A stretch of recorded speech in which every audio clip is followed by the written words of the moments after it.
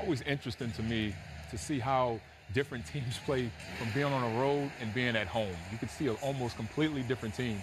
Look at their body Yeah, language. e- exactly. They, they just look more engaged. They look like they want to win. Did you see your guy just th- pull out one of those old magic I did. shots? I on saw that. Yeah. Uh-huh. Yeah. Don't short the play.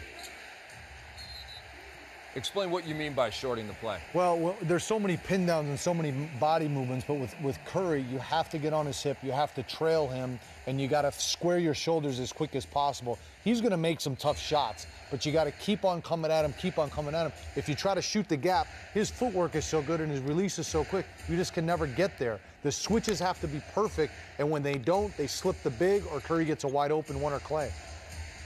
Are you surprised, any of you, that Cleveland is off to such a good start without Kevin Love? No, I think, uh, uh, and the reason is, is because I think that's how great LeBron James is because he can cover for any position on the floor. They can play smaller. Richard Jefferson right now is on Draymond Green. Draymond Green, we know, has been shooting a lot of threes. I'm not surprised by the, the energetic start just because the Cavs, they have a sense of pride. And when you're losing the way they've lost the other two games, that has to kick in at some point. And I, I think Travel. being at home, it, it's coming.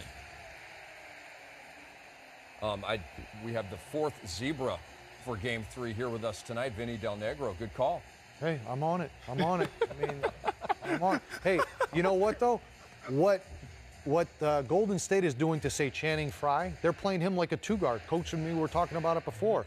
Now, guess what? Draymond Green with Richard Jefferson. Um, Richard Jefferson can get into him, make him a driver, take him off the three point line where he's dominant. That's what that guy's got to do right there. Keep attacking. Czar, it's a blowout right now early on. They got a little more movement in Yes. their offense than they've had in previous games. Perhaps, you know, the days off in between the games, Tyronn Lue went back to the drawing board, pulled out some sets that they haven't used. You know, as you get towards playoffs, you generally tend to uh, reduce the number of plays that you run. You run your best stuff. And he may have gone back to some things that they did during the year that they weren't using. But to me, there's definitely more movement, quicker screening, quicker decision making. And shot me. There you go. There you It go. It all looks good when it goes in. yeah, I know. Did you like that shot, Vinny? It wasn't a great shot, but I like the aggressiveness early on for sure. He's But you, feeling but you know what? Ky- Kyrie can make shots like that. Yeah. He hasn't in this series thus far, but he can make shots and he like has that. to. Yeah. He has to.